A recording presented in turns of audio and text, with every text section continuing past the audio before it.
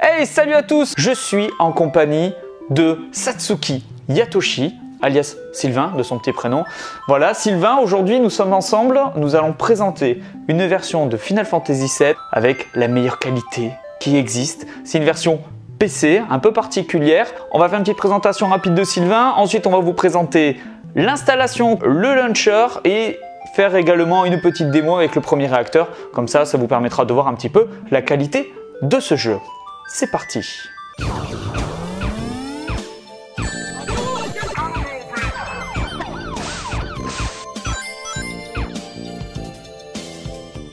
Donc Sylvain, eh bien nous, on ne te connaît pas. Moi je te connais professionnellement, mais sinon personne ne te connaît. Qui es-tu Sylvain? Dis-nous tout. Ouais, ben, je suis Satsuki Atoshi, donc on connaît plus comme ça sur le web évidemment. hein. Pour faire simple, je suis un nerd, un bidouilleur, un petit programmeur du dimanche quoi. Donc euh, ben, c'est pas compliqué, hein. Euh, j'ai quelques connaissances dans le domaine de la, vidéo et de l'imagerie euh, numérique. Et c'est vrai que j'ai toujours aimé euh, faire profiter ceux qui avaient juste besoin, on va dire, de lire une vidéo ou d'utiliser un programme, essayer de leur simplifier un maximum euh, la tâche, on va dire, avec des petites interfaces dédiées ou des, des simplifications de logiciels existants. Voilà, je pense que mon projet qui a dû être le plus connu à l'époque, hein, il y a plus de 20 ans maintenant, c'était le Satsuki Decoder Pack, donc un décodeur euh, multimédia vidéo euh, pour le PC, dont le but était, bon bah c'est pas compliqué, on a une vidéo, on installe ça, on peut tout lire, euh, qui contrairement à la concurrence n'était pas un codec pack, des choses très lourdes et qui pouvaient générer des conflits, mais juste un pack de décodeurs justement pour éviter les conflits et être plus léger. Je suis venu à ça parce que, bon, faisant partie d'une team de fansub il y a plus de 20 ans, à une époque où le moindre méga comptait sur les épisodes vu les vitesses faméliques des connexions internet. hein. Aujourd'hui, on se plaint avec du 10 mégas.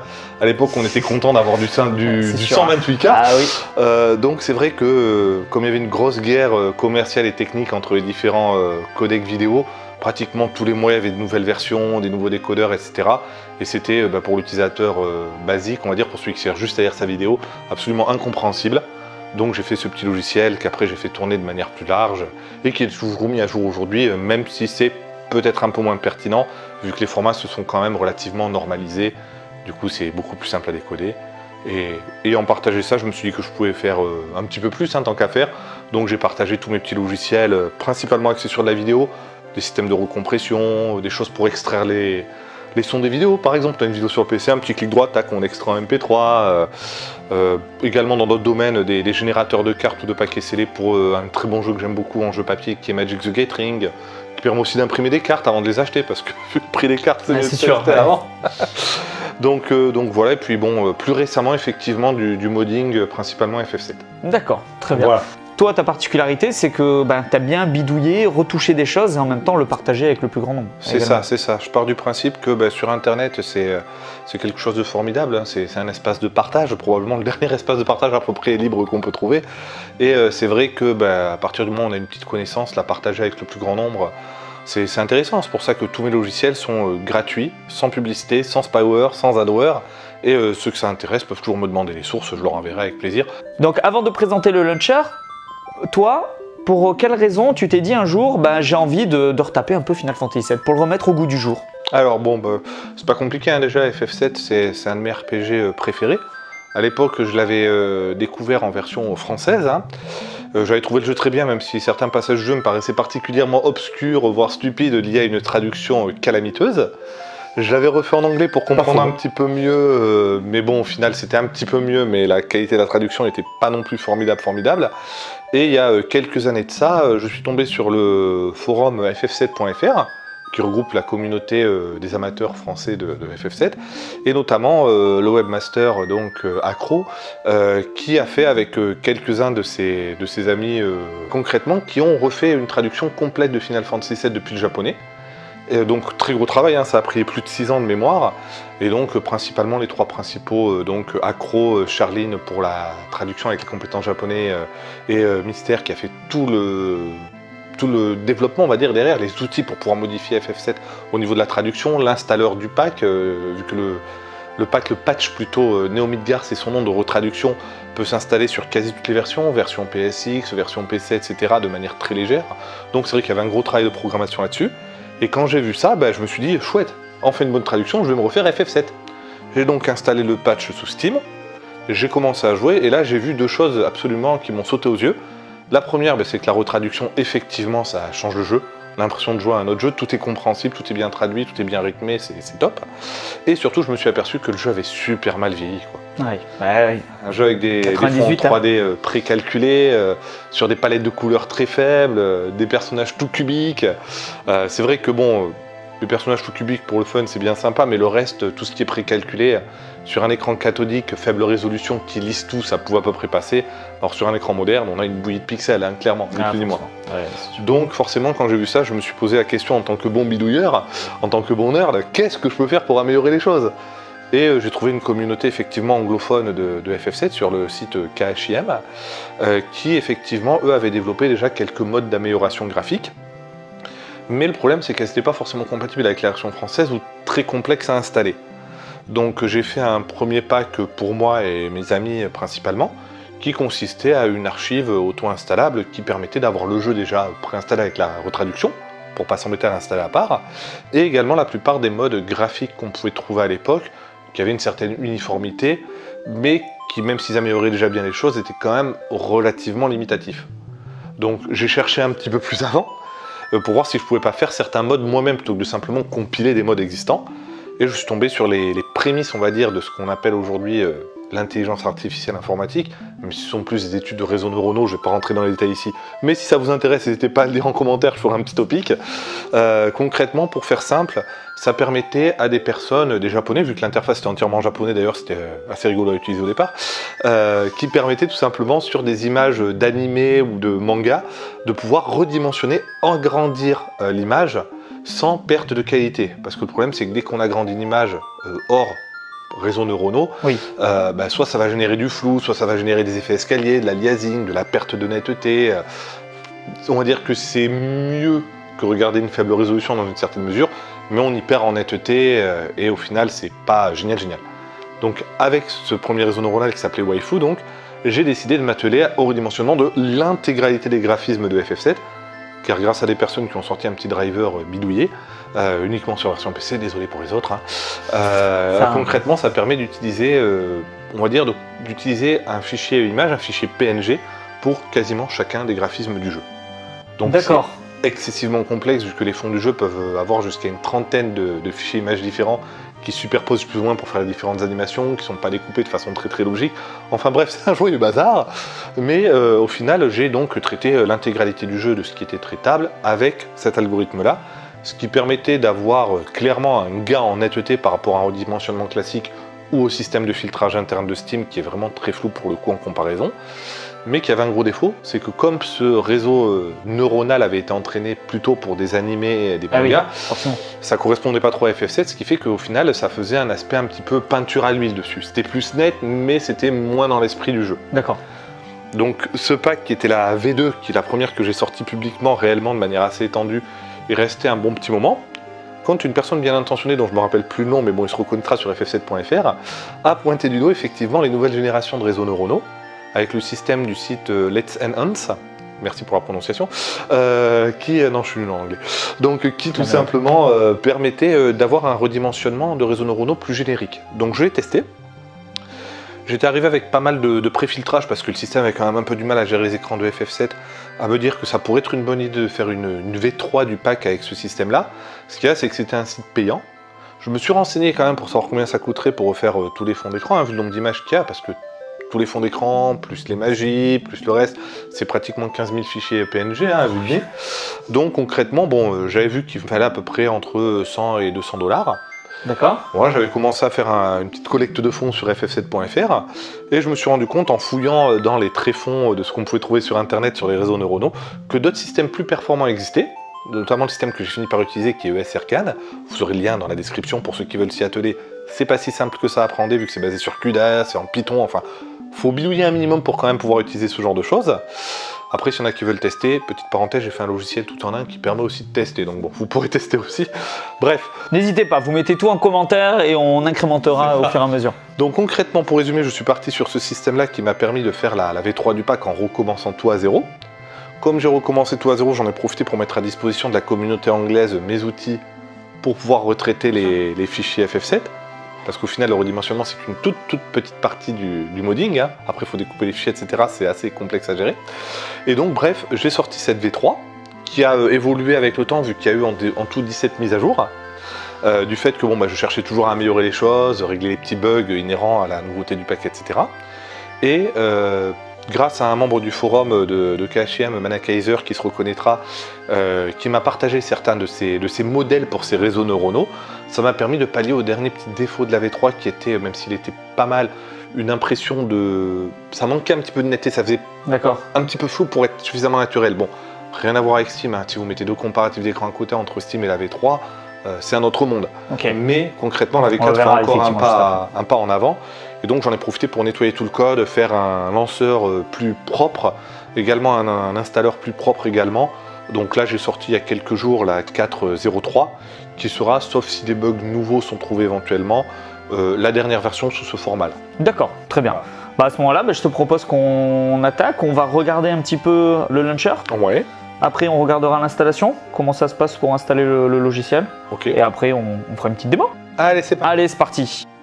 Alors ce launcher, première chose à savoir, il va se lancer en admin. C'est normal, c'est parce que comme certaines options du launcher euh, nécessitent de l'édition mémoire du jeu en temps réel, euh, des petites choses comme ça, de l'injection de DLL pour modifier le jeu en temps réel, il a besoin, du moins certains de ses composants, d'être exécutés en mode administratif. Donc dans la précédente version, ça ne se mettait en mode administrateur qu'au lancement de certains composants de FF7, Ok. mais du coup il fallait valider plusieurs fois. Là, en ouvrant le lanceur en mode admin, tout le reste se lance en admin par défaut également, ce qui fait que c'est beaucoup plus simple, une seule validation à faire. Impeccable. Petit détail technique également, qui est également précisé, mais bon, au cas où certaines personnes ne le lisent pas forcément, je préfère le repréciser quand même.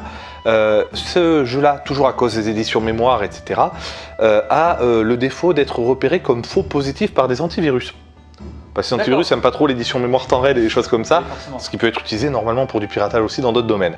Donc ce que je vous conseille de faire pour pouvoir jouer au jeu sans être bloqué par l'antivirus, mais ne pas euh, laisser un trou béant de sécurité dans votre ordinateur en désactivant complètement l'antivirus, n'hésitez pas avant d'installer le jeu à créer un petit dossier où vous allez installer le jeu et à l'ajouter aux exceptions euh, de votre antivirus. Comme ça, antivirus protège l'ordinateur sans pour autant aller fouiller dans le jeu et potentiellement vous bloquer. Après, si ça bloque pas avec votre antivirus, tant mieux. Mais c'est vrai que des faux positifs ont été repérés sur certains antivirus. D'accord. Donc- faites ça et vous serez tranquille. Voilà, en résumé. Donc la première page, il y a avant toute chose le remerciement de toutes les personnes qui m'ont aidé d'une façon ou d'une autre à faire ce pack, car même si c'est vrai que euh, la grande majorité des graphismes m'ont pris euh, pas mal de temps à être faits, j'ai passé euh, peut-être 300 ou 400 heures hein, pour arriver à cette euh, V4, Ok. malgré l'automatisation de pas mal de softs que j'ai créé spécialement pour l'occasion aussi, que j'ai partagé par la suite. C'est vrai que concrètement, j'ai eu de l'aide ou des personnes tout simplement dont une partie de leur travail a été intégrée Bien sûr. notamment la retraduction. À la base, c'est la retraduction qui m'a donné envie de faire ce mode pour optimiser le, le jeu. Il était évident que la retraduction serait intégrée. C'est un petit peu le fer de lance du pack, quoi. La retraduction et les graphiques. Pour ça que je vois que tu remercies Accro pour euh, sa retraduction. Donc euh, il y a pas mal d'autres personnes qui sont remerciées, ceux qui ont fait des modes de jeu différents, on y viendra un petit peu tout à l'heure, ceux qui ont fait des petites parties graphiques différentes, notamment la police en haute définition du jeu, euh, des petites corrections sur certaines parties d'écran, car même si le processus de, réseau- de réseau neuronal agrandit bien les choses, euh, moi à titre personnel j'ai déjà dû mélanger euh, selon les écrans de 2 à 7 ou 8 méthodes de refiltrage différents D'accord. pour obtenir un petit peu le meilleur des différentes méthodes de filtrage. Mais malgré tout, certains éléments comme les écritures ou certaines textures très très spécifiques sont mal gérées par le réseau neuronal qui ne le comprend pas, vu qu'il est impossible de l'entraîner sur FF7, vu qu'il n'y a aucun graphisme magique qui existe à l'origine. Tout à fait. Euh, et donc certaines personnes m'ont aidé justement à retravailler certaines petites parties d'image sur quelques écrans que je n'arrivais pas à faire, n'ayant pas forcément les connaissances nécessaires sous GIMP. Bien Voilà. sûr. Bah, en tout cas, merci à tous pour euh, le travail exceptionnel que vous avez euh, procuré pour ce jeu. Je pense qu'après cette vidéo, beaucoup de monde aura envie de retenter l'aventure Final Fantasy VII. Donc en dessous des remerciements indispensables à mon sens, on arrive sur une- un petit résumé, donc qui indique ce que permet le pack avec le lien du site sur lequel vous pouvez euh, poser vos questions en cas de besoin, voir les mises à jour, etc. D'accord. À savoir que le pack est téléchargeable à la fois sur le forum de ff7.fr Ok. et à la fois sur mon Facebook. Donc concrètement, euh, dernière petite section euh, que j'ai mis en place, c'est pour euh, les donations. Car c'est vrai qu'à la base, moi je propose le pack gratuitement, sans publicité, sans contrepartie. Mais c'est vrai que si certains apprécient le travail, ça fait toujours plaisir, une petite donation pour remercier. J'ai mis deux liens. En premier évidemment pour la retraduction, car à mon sens c'est vrai que quitte à faire une petite donation, autant privilégier la retraduction, c'est vraiment ce qui a amené tout le reste D'accord. et éventuellement un don pour le pack tout en un, car c'est vrai que même si ça m'a pas pris autant d'années euh, que Accro pour la retraduction, c'est vrai que ça m'a pris quand même quelques centaines d'heures. Donc en dessous le bouton pour jouer à FF7, Il faut savoir que cette interface de launcher s'ouvrira forcément au moins une fois après la première installation du jeu quand vous le lancerez, même si vous le lancez par l'icône de FF7, pour tout simplement pouvoir valider les options. Après, tant que vous ne changez pas d'option, tant que vous ne retournez pas dans la partie de configuration qui est le launcher, eh bien, vous pouvez jouer avec le logo FF7 qui se lancera du coup beaucoup plus rapidement. Alors, on va passer aux options graphiques. Alors là, Ah c'est assez dodu, il y a du monde. Donc concrètement, on va commencer par cette partie-là euh, pour les textures et les modifications graphiques. Concrètement, on peut choisir d'activer ou désactiver chaque partie refiltrée, donc les fonds d'écran du jeu, les car- la carte du monde quand on se balade en extérieur, les fonds de combat également qui ont été refiltrés. Ah, On voit bien effectivement la différence entre ça, la version de base, C'est assez parlant, qui est d'ailleurs très certainement un peu la version Steam. Ah, c'est la version Steam, hein, pour faire simple. Ok. Donc euh, on le voit également sur les scènes du jeu. On voit que sur la version Steam, c'est moins pixelisé que ne serait une version PC de base, mais on voit que c'est quand même franchement très flou euh, et euh, qu'il y a pas mal euh, d'aliasing. Alors que sur la version refaite avec réseau neuronal, c'est quand même beaucoup plus net et il n'y a pas d'aliasing. Tout à fait. Donc euh, on peut filtrer également les mini-jeux, course de chocobo, euh, sous-marin, euh, snowboard, etc., etc. Donc avec certains graphismes dont on voit qu'ils n'ont pas été simplement refiltrés mais carrément refaits, les têtes de chocobo Ouais. ont été refaites de zéro. Euh, pas par moi, hein, par un membre du forum de FF7 qui avait plus de compétences que moi dans ce domaine, je l'ai simplement adapté. Euh, on peut filtrer les magies, alors les magies c'est pareil, les magies j'avais fait dans la version 3 une version refiltrée avec les réseaux neuronaux, mais une personne euh, m'a indiqué ce pack de magie qui a été entièrement refait, là pour le coup les textures ont été complètement refaites par un membre du forum qui est la 51, qui a passé pas mal de temps dessus également, mais qui du coup, avec commis quelques petites erreurs sur les transparences, les alignements, ce qui m'a amené à faire une correction euh, assez profonde des magies, hein, ça m'a pris pas mal d'heures pour tout corriger, mais du coup, comme le pack est devenu complet, bon bah il est à disposition de manière unique sur le site d'origine qui est KHM, et je l'ai intégré au pack parce que c'est un pack qui est relativement uniforme. Le but de tout ce pack que je propose aujourd'hui, c'est d'obtenir une expérience de jeu la plus proche possible de celle de l'origine, et donc relativement uniforme. Donc certains pourraient se poser la question, si tu suivez un peu les forums anglais, pourquoi je n'ai pas inclus tel ou tel mode? Je n'ai inclus de manière générale que les modes qui étaient d'une part totalement complets, D'accord. sans bug et euh, relativement uniformes. Je pense notamment euh, à une option qu'on a un petit peu plus bas pour les modèles 3D. J'ai pris des modèles 3D, euh, le pack Chaos donc, qui est disponible sur donc, KHM, euh, tout simplement parce qu'il est relativement uniforme. C'est-à-dire d'un écran sur l'autre, d'un personnage sur l'autre, le rendu sera toujours à peu près équivalent. Je sais qu'il existe des packs de personnages avec des personnages euh, modélisés de façon plus Ouais. poussée. J'en ai vu avec des personnages Advent Children en fait. C'est ça, Ouais. c'est ça. Le problème, c'est que ça s'éloigne quand même un petit peu de la logique du jeu et surtout, bah, d'un écran sur l'autre, vous allez avoir d'une partie des persos qui ont été refaits parfaitement et d'autre partie des personnages qui n'ont rien à voir, donc ça, ça choque, ça casse l'immersion. Donc on va remonter un tout petit peu au-dessus pour les menus et les polices en HD. Ce qu'on voit, les, les parties matérias notamment, ça c'est quelque chose qui avait été refait euh, par la Team Avalanche sur. KHM, qui sont un peu des précurseurs du modding FF7, que j'ai adapté à la version française vu que ça n'était que pour la version anglaise. Ok. Et les polices, elles, ont été faites euh, par Dark27 sur le forum de FF7, parce qu'il n'existait aucune police refaite avant euh, l'existence de ce pack, pour effectivement euh, avoir une qualité euh, correcte, tout en se rapprochant un maximum de la police d'origine, car là on voit bien la police d'origine est quand même relativement pixelisée. Et je vois que les icônes aussi, elles ont déjà elles ont des couleurs. Elles sont moins pixelisées, enfin bah, plus pixelisées du tout. Ouais. Ça c'est pareil, c'est extrait du, euh, d'une option du mode réunion, Ouais, parce qu'on dirait même qu'il y a vraiment des dessins un petit peu ça. différents. Je pense qu'ils C'est ont ça, dû aussi ça. les retoucher. un tout petit peu différent. Alors à savoir que certaines rumeurs de certaines personnes, je rentrerai pas dans les détails, a priori il y aurait euh, en préparation un menu, euh, un menu HD qui serait euh, beaucoup plus, encore plus respectueux de l'origine, avec des polices HD encore plus proches de celles de l'origine et des icônes plus proches de celles de l'origine. D'accord. Là j'ai mis vraiment ce qui se rapprochait le Ça se plus rapproche de beaucoup déjà, hein. ça se rapproche déjà pas mal, mais il y a du taf en Ok. cours pour la suite on va dire. Très bien. Donc euh, les modèles 3D on est passé dessus. Alors le fait de ne pas avoir d'ombre en combat, je l'ai désactivé par défaut, mais comme c'est une option que j'aime bien mettre, je l'ai mise à disposition. D'accord. En fait, sur FF7, les ombres des persos, euh, vieillesse du jeu oblige, c'est simplement une pastille grise sous le personnage. Je trouve que ça casse un petit peu la dynamique des, des persos un petit peu plus modernisés, donc on peut le supprimer si on n'aime pas les ombres en combat. Les fenêtres de dialogue transparentes, qui ne fait pas partie du jeu d'origine mais que j'ai quand même rajouté par défaut, permet tout simplement que le fond des fenêtres de dialogue soit, comme on peut le voir, transparent, ce qui permet de profiter de la partie euh, du fond du jeu refaite, même quand des boîtes de dialogue se superposent plus précisément. Ensuite, là on arrive sur les deux options qui sont peut-être un peu plus dures à appréhender, mais que je conseille de laisser par défaut. Il faut savoir que dans le modding FF7, le driver bidouillé permet de faire beaucoup de choses, mais ne permet pas de garder l'animation des effets lumineux s'ils sont filtrés. On le voit bien sur cet écran, la partie de gauche, c'est filtré, ça n'est pas pixelisé au niveau des lumières bleues, par contre le système est totalement immobile. Si on regarde la partie de droite, on verra que les lumières ont une animation, un petit sentiment, mais que du coup c'est pixelisé. Après, c'est à vous de voir selon vos préférences. Je conseille quand même de filtrer euh, ce genre de lumière qui t'a perdu un petit peu en animation, car le rendu du jeu du coup est beaucoup plus homogène. La dernière partie, ça permet de ne pas filtrer les bugs mineurs. Toujours à cause de cette histoire de lumière euh, qui n'est pas animée, qui n'est pas bien n'a pas une bonne notion de transparence dès que c'est refiltré, eh bien certains éléments du jeu peuvent être masqués. Alors c'est assez mineur comme bug et il n'y a que 6 ou 7 écrans sur lesquels ça provoque cela, mais on voit bien là, dans le bocal d'expérience entre guillemets de Hojo quand Cloud rentre dedans, on voit que si on filtre euh, ces bugs mineurs, eh bien la lumière empêche de voir ce qui se passe derrière, alors que si on ne filtre pas, effectivement, on peut voir ce qui se passe dedans. J'appelle ça quand même des bugs mineurs car ça peut masquer certains éléments du jeu. Notamment là, on ne verra pas la matière qui peut être récupérée à cet endroit du jeu. D'accord. Donc c'est activé de ne pas filtrer les bugs mineurs. Après, si vous connaissez déjà bien le jeu, vous pouvez les découcher pour avoir un filtrage maximum. À savoir qu'il y a quand même trois écrans du jeu qui ne seront jamais, jamais filtrés au niveau des lumières.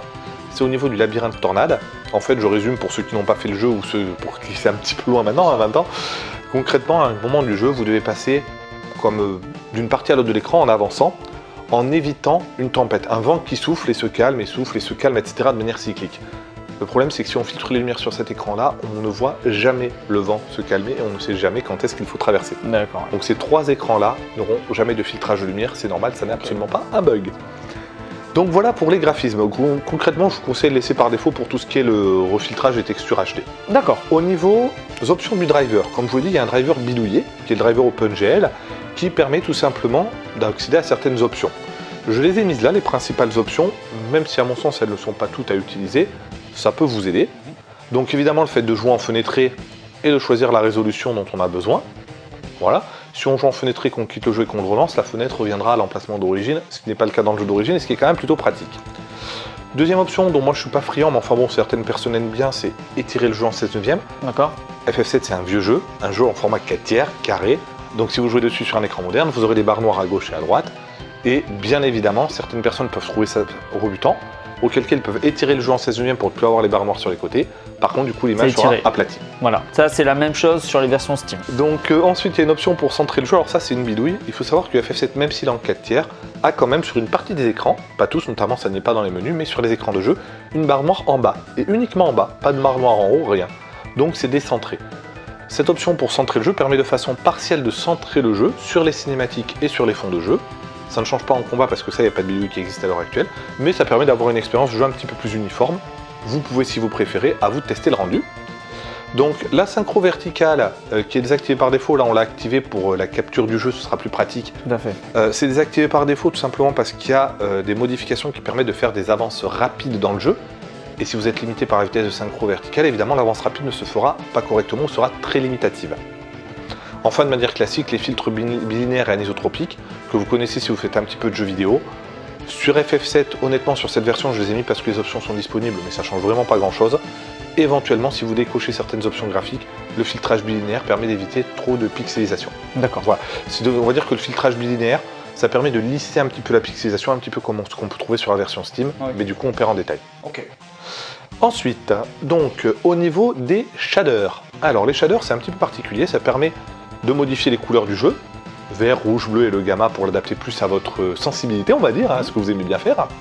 Mais il y a également des réglages prédéfinis. Donc le neutre, j'ai mis conseillé pour des bugs parce qu'avec certaines vieilles cartes graphiques, si vous laissez les shaders désactivés, il peut y avoir des bugs de profondeur de noir en mettant en neutre, ça peut régler le problème. D'accord, ok. Une émulation des couleurs PSX, parce que les couleurs PSX ne sont pas du tout les mêmes que les couleurs PC, elles sont, un, ah, petit peu plus saturées et un petit peu plus sombres. Ok. Donc ça permet d'émuler la couleur PSX NTSC, voilà. Donc, et ou personnaliser évidemment pour mettre ce que vous voulez. Ok. Avec un petit bonus, pour les nostalgiques, émuler une oh. télévision catholique. Alors, ça ne se sont pas de simples scanlines, euh, ce qui rendrait euh, donc des petites barres horizontales à, intervalles réguliers, hein, je précise pour ceux qui ne sont pas familiers, qui en général émulent soi-disant les, télés euh, cathodiques. Là, c'est vraiment ce qu'on appelle une, trame de, pixels. Donc concrètement, ça permet réellement d'émuler une télé euh, à écran cathodique sur un écran moderne. Honnêtement, c'est pour les nostalgiques qui aiment bien ce rendu-là, parce que les, rehaussages 3D, euh, enfin les rehaussages HD qui ont été faits n'en ont pas forcément besoin. Oui. Mais si vous voulez rejouer au jeu d'origine style télé CRT, vous décochez toutes les textures, vous démulez la télé cathodique avec tant qu'à faire les couleurs PSX, Et là, vous vous retrouvez grosso modo sur ce qu'on peut trouver sur des émulateurs euh, PSX, euh, voilà. Et enfin, alors ça c'est un petit peu plus dur à appréhender, c'est ce qu'on appelle le cache vidéo. Il faut savoir que FFC dans son driver bidouillé va en fait pour chacune des images et des textures du jeu charger des fichiers au format PNG. Ok. Pour des chargements plus rapides, il va garder les derniers fichiers utilisés dans une mémoire vidéo. Oui. Donc cette mémoire vidéo, on pourrait se dire que le plus haut elle est, le mieux c'est. Sauf qu'avec certains pilotes vidéo, bah, ça peut poser des petits problèmes de corruption de texture comme on le voit là. Donc un petit personnage en train de nager dans la Costa del Sol. Normalement, on est censé voir des éclaboussures autour de lui, et là on voit qu'il y a des textures, des nombres, des choses comme ça. Ça, c'est une corruption de texture. Si jamais vous rencontrez ce genre d'anomalie, n'hésitez pas à tester une valeur à zéro. Les chargements seront un petit peu plus longs, forcément, mais du coup, vous réglez la plupart des bugs graphiques. D'accord. Alors, on soit d'accord, hein, quand j'ai des bugs graphiques comme ça, euh, c'est pas tous les écrans qu'il y en a. C'est peut-être euh, un tous les 2-3 heures de jeu, et uniquement sur des parties autour des personnages, donc les éclaboussures, les petites flèches de sortie, les mains, les choses comme ça. Si on a un gros PC, tu nous conseilles de mettre la valeur du cache à zéro directement alors? Non, pas forcément, parce que même sur un gros PC, si vous êtes obligé de charger des PNG tout le temps, il peut y avoir le disque dur qui va limiter, le CPU qui va faire un goulot d'étranglement. C'est un peu des cas, je conseille de laisser sur 1024, qui est la 1024. valeur par, par défaut, et de descendre uniquement en cas de bug. De toute façon, le launcher, au final, si on a juste envie de jouer à FF7 avec euh, l'expérience en tout cas que toi tu as imaginé la plus complète et la plus fidèle à l'original, avec des graphismes au goût du jour, etc., ben on laisse tout par défaut. On clique juste sur jouer à FF7 et voilà. Donc ensuite, les modes de jeu, c'est une des particularités intéressantes de ce pack. J'ai tenté de regrouper toutes les modifications de jeu, euh, je parle pas de graphisme mais de gameplay, qu'on peut trouver les plus abouties, plus certaines que j'ai rajoutées moi-même parce qu'elles étaient sympas. Donc concrètement, on voit qu'on peut jouer évidemment avec le jeu de base. hein. On peut choisir une difficulté progr- progressive qui est un mode que j'ai créé sur plusieurs critères, équilibré, simple, challenge ou même personnalisé. En fait, qui pallie à un défaut de FF7. Dans FF7, tous les monstres et ennemis ont systématiquement le même niveau. Vous arrivez à un endroit où les ennemis sont niveau 12, c'est codé par le jeu, vous pouvez être niveau 20, niveau 2, niveau 100, enfin 99 vu que c'est Oui. arrête à 99, ces ennemis-là auront toujours le même niveau. Là, ce difficulté progressive permet que les ennemis suivent votre niveau. D'accord. Donc, vous prenez le temps pour faire le jeu, vous montez très vite en niveau, ben, les ennemis auront votre niveau où que vous soyez. C'est bien. Vous faites le jeu en ligne droite, vous avancez très vite, bah du coup les ennemis auront peut-être un niveau un peu moins important que dans le jeu de base. Voilà, ça permet de simplifier l'expérience. Je dis de simplifier si vous êtes en difficulté euh, équilibrée ou simple. Si vous êtes en mode challenge, les ennemis seront toujours plus forts que vous au niveau, et donc forcément ça ajoute un peu de challenge. Vous pouvez même personnaliser dans quelle mesure les ennemis seront plus forts ou moins forts Ah que oui, vous si ok. vous voulez. Oh, sur un- Ouais. Voilà, ça c'est vraiment pour les petits bidouilleurs. Mais c'est bien, ça au moins, euh, cette difficulté progressive, bah, maintenant c'est ce que vous pouvez retrouver sur tous les RPG. Voilà, généralement maintenant vous avez une difficulté progressive, ce qui fait que vous n'avez pas besoin de passer non plus euh, trop de temps à essayer de monter vos levels, etc. pour Exactement. passer euh, un passage. Ça s'adaptera. hein, si on passe beaucoup de temps à explorer une zone et se retrouver en surniveau après à perdre tout intérêt du jeu. C'est ça. Alors pour ceux qui trouvent que les difficultés progressives, le mode de jeu, etc. c'est simple, car c'est vrai qu'FF7 est simple, on a Mexico sur le forum de FF7 qui nous a fait un hard mode, et inutile de dire que c'est un hard mode. C'est-à-dire qu'il ne s'est pas contenté de rehausser le niveau des ennemis, comme moi je l'ai fait, qui est quelque chose de plutôt linéaire au final, il a repris chaque ennemi, chaque jeu, chaque formation, chaque magie, et il les a modifiés en grande partie, ce qui permet tout simplement que, même si le moteur du jeu reste le même, chaque combat est un vrai défi. Ok. Pour vous donner un ordre d'idée, moi quand ce hard mode est sorti, je me suis dit chouette, un hard mode, je connais bien FF7, je vais le faire. Après avoir fait 4 game over sur le Scorpion, qui est le premier euh, boss du jeu, je me suis dit je vais laisser de côté, je recommencerai quand j'aurai du temps. D'accord. Ouais, donc c'est vraiment costaud. Certains l'ont l'ont fini, hein, plusieurs personnes sans problème, mais c'est vrai qu'il faut bien connaître le jeu. Donc, ensuite, qu'est-ce qu'on trouve? On trouve également, alors ça c'est un petit mode qui a été fait par Accro, donc celui qui a fait avec son, son équipe et ses amis euh, la retraduction, tout simplement un challenge no XP. Bah, c'est pas compliqué, vos persos ont leur niveau de base, mais vous ne gagnez jamais d'XP en jeu, donc vous restez au niveau de départ. Honnêtement, quand on connaît bien les mécaniques du jeu, c'est plus simple que le hard mode, mais c'est quand même bien moins simple qu'un jeu de base. Alors évidemment, comme ça, ça peut paraître un peu simple à certains hardcore gamers. Il a également proposé le challenge no XP niveau 1. Donc on gagne pas d'XP, mais en plus on est niveau 1 tout le long du jeu. Donc c'est rigolo et c'est un petit peu plus dur. Certains l'ont fini, mais c'est quand même plus costaud. Ils sont assez peu nombreux à l'avoir fini au final. Donc ensuite, on a le euh, NT mode, le New Threat mode, qui est entièrement en anglais et qui n'est pas compatible avec les modèles euh, 3D modernes. Ok. Tout simplement parce que celui qui a fait ce mode-là, bon, bah, l'a fait uniquement en anglais et il a modifié tout, enfin une bonne partie des ennemis du jeu en refaisant de nouveaux modèles 3D. Ah oui. Dans certains persos à certains endroits, certaines quêtes. La logique d'évolution des personnages n'est pas la même vu que les personnages n'évoluent pas de la même façon, n'ont pas les mêmes compétences. Donc c'est, on va dire, c'est dans le même univers que FF7. L'histoire est globalement la même, mais le système de jeu n'a rien à voir. Je conseille vraiment à tous ceux qui sont un petit peu anglophones de le faire, car il est vraiment, c'est vraiment une autre expérience de jeu. Le jeu est très équilibré, il est plus costaud que la version de base sans être au niveau d'un hard mode, mais il y a quand même quelques passages qui sont un petit peu un défi. Je me suis permis de mettre quand même un petit lien pour ceux qui voudraient faire un don euh, à Sega Chief parce que bon, ça fait plus de 5 ans que je travaille dessus et quand j'ai travaille dessus, c'est pas une semaine et puis il reste 3 mois en pause. C'est il répond au poste et il fait des mises à jour. Le mode est fini, on peut faire tout le jeu comme ça. Le mode, on va dire, sur sa trame est fini, mais il reste de toute façon opérationnel pour apporter des petites corrections nécessaires sûr. au fur et à mesure, Ok, parce que il y a des, des mages. Quand on fait tout le script du jeu de A à Z, c'est des, des milliers de lignes de code. hein. Je crois qu'il doit y avoir déjà des rien que sur les dialogues, plus de 10 000 dialogues dans FF7. Il est relativement dodu sur les dialogues aussi. Donc euh, c'est vrai qu'il peut y avoir des petits bugs, mais enfin bon, globalement, c'est tout à fait jouable. Ok, Donc là, on arrive sur quelque chose d'un petit peu particulier. Donc euh, c'est un mode parodique qui a été fait par Azertuop 2 sur ff7.fr. d'accord. En fait, pour faire simple, c'est le jeu standard, sauf qu'il a refait tous les dialogues du jeu un par un en version parodique. Ok, Donc euh, c'est une parodie, donc euh, par moments c'est assez fin, à d'autres moments c'est un petit peu plus lourd, mais honnêtement euh, c'est c'est de l'humour, on passe un bon moment quand on fait ça. C'est vraiment à faire au moins une fois, hein. si, on, si on aime bien l'humour, qu'on n'est pas premier degré, c'est vraiment très agréable à faire. À savoir également que euh, pour ceux qui auraient déjà fait FF7, qui connaissent bien FF7 et qui voudraient faire la parodie mais qui se disent ouais mais je vais m'ennuyer pendant le jeu, Ouais. ils peuvent en même temps cocher ce qu'on appelle la parodie mexicaine. Pourquoi? Parce qu'en fait c'est un mix de la parodie au niveau des dialogues et du hard mode de Mexico d'accord. qu'on a vu tout à l'heure. Si on veut que ce soit dur et que ce soit con, voilà, on y va. C'est ça. Ça permet de bien se prendre la tête pendant le combat et bien rigoler en dehors des Ouais, combats. voilà. Voilà. Donc avec le petit lien pour le don, pareil, parce que ça lui a pris pas mal de temps. Et enfin, un mode que j'ai fait, que j'ai repris, qui est un mode de Sega Chief de KHM, mais que j'ai adapté à la version française, euh, parce que c'est entièrement avec des patchs de jeu en réel. C'est le mode True Necrosis, qui est très intéressant à faire, parce qu'il peut paraître simple au début, mais plus on avance, plus il est difficile. D'accord. Parce qu'en fait, c'est pas compliqué. Tous les persos du jeu, on va les commencer avec le maximum de points de vie, 9999, le maximum de points de magie, 999, mais il est strictement impossible de regagner des points de vie ou des points de magie. Un perso est KO, on peut pas le ranimer. On va dans une auberge, aucun effet. On fait une magie qui regagne des points de vie, on peut. Les points de vie vont monter, mais ah non, vous êtes triché, reviennent au point départ avant. Forcément. Donc voilà, on ne peut pas regagner de points de vie de points de magie. Et c'est très costaud. Aujourd'hui, je sais que sur la version anglaise, je crois qu'il y a une personne qui l'a fini. Mais c'est vraiment costaud, il faut, il faut réfléchir je dès le pense début que le jeu. jeu, vous avez intérêt à bien le connaître pour vous lancer dans ce genre d'aventure. C'est ça. Donc ensuite, dernière petite chose dans les modifications, en fait, ce sont le choix des musiques. Ok, Alors de base, on a les musiques originales en version HD, ok. qui sont ni plus ni moins que les mêmes musiques que la version Steam, mais qui ont été refaites avec les CD de l'OST du officiel du jeu pour avoir encore un petit seuil de qualité supplémentaire. Il a été corrigé aussi des petits bugs de boucle et de volume mal normalisé sur la version Steam avec cette version HD. Donc c'est très proche de l'origine, mais en version HD. On a les musiques euh, remixées par Azertuop 2, donc celui qui a fait donc, le mode parodique, qui a euh, remixé les musiques à partir du MIDI avec un synthétiseur, vu que le MIDI, effectivement, c'est le format des musiques de base de FF7 PC, ce qui permet de remixer un peu comme on veut quand on connaît un peu.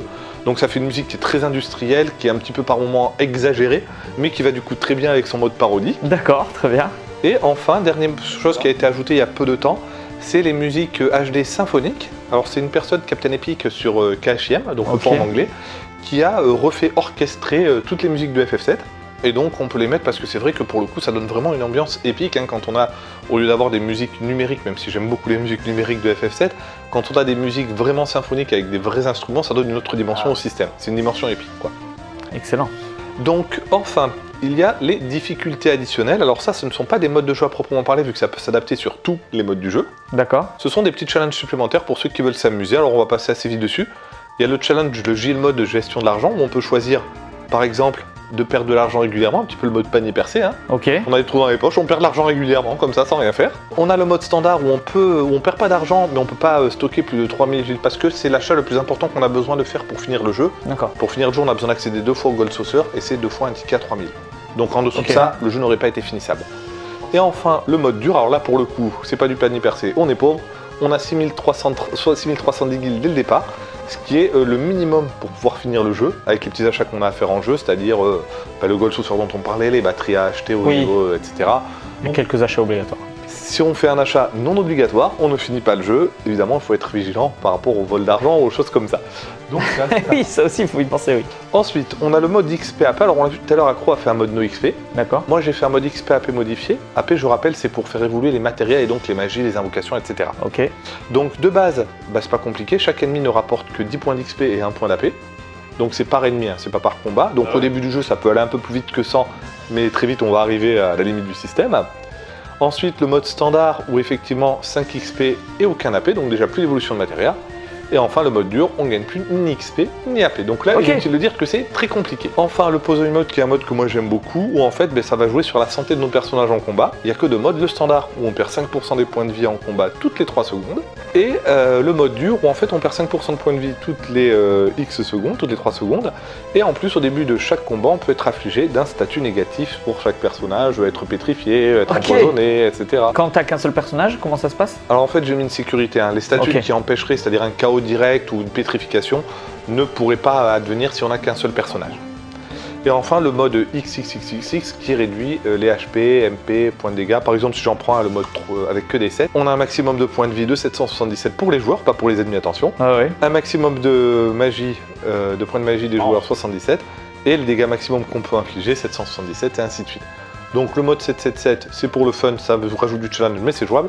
Par contre, le mode 1-1-1, inutile de vous dire 11 points de dégâts par magie ou par. euh, Voilà, c'est très difficile de passer certains boss. Donc là, c'est vraiment, voilà, c'est des modes. Si vous fun. avez envie, euh, voilà, pour le fun de découvrir le jeu, un petit peu sous Et un autre jour. Non seulement ils sont cumulables, mais en plus ils peuvent s'additionner à n'importe quel mode qu'on choisit de manière plus classique. D'accord, très bien. Ensuite, les patchs et les debugs. Alors concrètement, là, on va trouver tous les petits patchs que j'ai euh, soit repris, soit carrément créés pour euh, cette version de pack, qui permettent de moderniser un petit peu le jeu, notamment la course automatique, car dans FF7 on marche par défaut, là on court par défaut et on maintient un bouton pour marcher, comme les trois quarts du temps dans le jeu on court, ça peut quand même être utile. Quelque chose pour moderniser un petit peu le jeu, pour le mettre au niveau, on va dire, des jeux un peu plus modernes, on peut sauvegarder n'importe où. Ça, c'est bien ça. Voilà, ça peut être sympathique effectivement si on connaît pas trop le jeu ou qu'on n'a pas envie de se dire mince, il y a une séquence qui va durer une heure, faut que j'aille faire quelque chose, je peux Ouais. pas sauvegarder. Voilà. Euh, le fait de supprimer la limite des 9 1999, ça permet de booster jusqu'à euh, 30 000 euh, à la place des 9 999. D'accord. On peut pas vraiment vraiment aller au-dessus. Le jeu limite à 32 000 et quelques, hein, c'est une valeur hexadécimale. On limite à 30 000. Ensuite, le Lucky Tifa et le Lucky Ticket Seat, ça permet tout simplement bah, que Tifa sur sa limite, vous savez, vous avez une roulette qui Oui. tourne, et effectivement ça peut être oui, non, euh, etc. en fonction du système. Là, elle est tout le temps au maximum, ça permet de lui avoir quelle une limite au maximum de sa qualité. Et pour Ketsit, lui, c'est une roulette en trois parties qui tourne. Oui. Et en fonction, un petit peu comme les, les jeux de machine à sous, en fonction de ce que ça donne sur les roulettes, ça fait différentes combinaisons. Et là, avec la touche menu, on peut effectivement stopper et faire dérouler pour mettre chaque partie de la roulette sur un élément précis. qu'on- D'accord, comme ça on peut lancer euh, la limite un peu plus qu'on Euh, le souhaite exactement. avec Edit. Voilà. Et on peut également choisir de désactiver les combats aléatoires. À la manière des versions Steam. Ah, exactement. Et pour désactiver les combats aléatoires, pour éviter que ce soit trop euh, restrictif, on peut le faire en jeu. C'est-à-dire, il y a une touche clavier qu'on peut customiser à la manette, qu'on verra plus tard, où effectivement, on peut choisir d'activer ou désactiver les combats aléatoires. Et pour montrer l'activation ou la désactivation, les, euh, les éléments indicateurs, comme la petite main qu'on a au-dessus du personnage, la petite flèche de sortie, la mini-carte quand on est sur la carte du monde, vont clignoter plusieurs fois, lentement pour indiquer que les combats sont désactivés, ou rapidement pour indiquer qu'ils sont activés. Ça permet de savoir où on en est. D'accord, ok, très Voilà. bien. Et enfin, le God Mode pour le principe, on ne peut pas mourir quoi qu'on fasse, etc. Mais bon, ça, à utiliser avec parcimonie, ça casse un peu l'intérêt Oui, du jeu, et certains bugs sont possibles. Enfin, ça, on va passer, on va laisser ça de côté, c'est en cas de, de bug, effectivement. Pour éviter des bugs avec certains antivirus, on peut désactiver l'avance rapide, les patchs en temps réel, les musiques haute définition, ou pour ceux qui voudraient avoir les musiques en MIDI pour un peu de nostalgie. Le réenregistrement automatique, je vous laisse lire tout ça là, dans cette partie-là. Le seul élément réellement intéressant, si vous avez un SSD, on peut gérer la compression des PNG, qui permet, si on clique là-dessus, on va pas le faire là, de euh, décompresser quelque part les PNG pour mettre une compression minimum, ce qui soulage le processeur qui lit les PNG, Ok, quitte à charger un peu plus le disque dur, mais sur un SSD, on s'en fiche, Oui, la lecture voilà. est quasi instantanée. bah oui. Voilà. Enfin, dernier petit élément, les contrôles. D'accord, Donc un résumé des différents contrôles clavier selon les options que vous avez choisies lors de l'installation. ok. Les contrôles spéciaux donc pour activer et désactiver avance rapide. Changer la vitesse d'avance rapide. Ensuite, euh, désactiver activer les combats aléatoires. Passer la cinématique en cours. Et enfin, une petite option que j'ai mis moi-même qui est un hard reset, car dans FF7, impossible de charger un jeu après avoir lancé la première partie. Donc, si vous vous plantez et que vous souhaitez tout recharger, ça évite de quitter le jeu et de le relancer. On appuie sur une combinaison de deux touches, ou la combinaison clavier. Ça ferme le jeu complètement, ça zappe les deux vidéos d'intro, et on arrive directement sur la page pour recharger la partie. On peut également rétablir les contrôles par défaut, configurer la manette.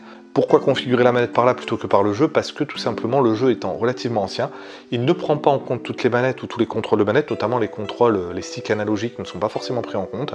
C'est compliqué à configurer dans le jeu. Là, on configure de manière visuelle, ce qui est beaucoup plus simple. Et du moment qu'une manette est reconnue par Windows, elle sera reconnue dans le jeu. Impeccable. C'est une petite interface Joy2K. Et enfin, dernière chose, la petite aide du jeu, qui va vous ouvrir donc une page internet avec l'aide au format HTML D'accord. et qui vous rappelle, évidemment si vous ne savez pas vraiment l'utiliser, de d'abord lire le manuel et la FAQ avant de demander sur ff7.fr. Ça, c'était pour euh, le launcher. Ok. Donc- Et juste une petite euh, aparté. Concernant les cinématiques de- du jeu, est-ce qu'il y a eu une refonte qui a été faite euh, dessus Alors- Un travail qui a été effectué? C'est vrai qu'il y a eu une refonte de fait, j'en ai pas parlé parce que ça n'est pas activable ou désactivable car ça, ça n'aurait aucun intérêt. D'accord. Concrètement, il faut savoir que les vidéos FF7, une partie a été refaite avec le fameux moteur euh, de rehaussage SRGAN dont je parlais tout à l'heure qui permet de redimensionner. D'accord. Une autre partie a été reprise euh, depuis les versions Steam du jeu qui était d'un peu meilleure qualité que ce que je pouvais obtenir avec l'intelligence artificielle, mais où j'ai quand même pas mal retraité pour éviter les effets d'aliasing car les vidéos, les vidéos euh, Steam ont énormément d'aliasing, énormément de parasites liés à la compression vidéo. Enfin, on va dire que c'était une base de travail, mais c'était certainement pas ce qui était intéressant à utiliser. Donc concrètement, il n'y a aucune des vidéos qui d'origine, elles sont toutes refaites pour une meilleure qualité. Je vais t'inviter avant toute chose à configurer les contrôles. Alors pour configurer, c'est pas compliqué. On clique sur le bouton qu'on veut configurer, ça précise d'appuyer sur un bouton. Et voilà, bien penser si vous utilisez des sticks analogiques à régler la zone morte si jamais c'est trop sensible. Ça marche. Et à enregistrer la configuration de la manette, ce qui nous est confirmé. D'accord, ok. Et d'ailleurs, toi, si aujourd'hui tu as des personnes qui ont envie de te suivre pour tes, pour tes travaux, est-ce qu'ils peuvent te suivre, toi, Sylvain? Alors pour vraiment avoir euh, les informations au fur et à mesure, c'est le forum ff7.fr, c'est là Ouais. qu'on trouve le projet, euh, le projet complet avec une section dédiée. Sans ça, pour ceux qui veulent suivre de manière plus générale simplement les sorties sans se pencher sur tout le détail et voir mes autres logiciels, c'est sur ma page Facebook. Ok, très bien. Ouais. Bon, ça marche. Avant de lancer le jeu, on va voir d'abord tout ce qui est le setup d'installation, où est-ce qu'on peut le retrouver, comment ça fonctionne, et ensuite une petite démo du jeu. Donc on se retrouve dans quelques instants. Merci Sylvain. Merci à toi.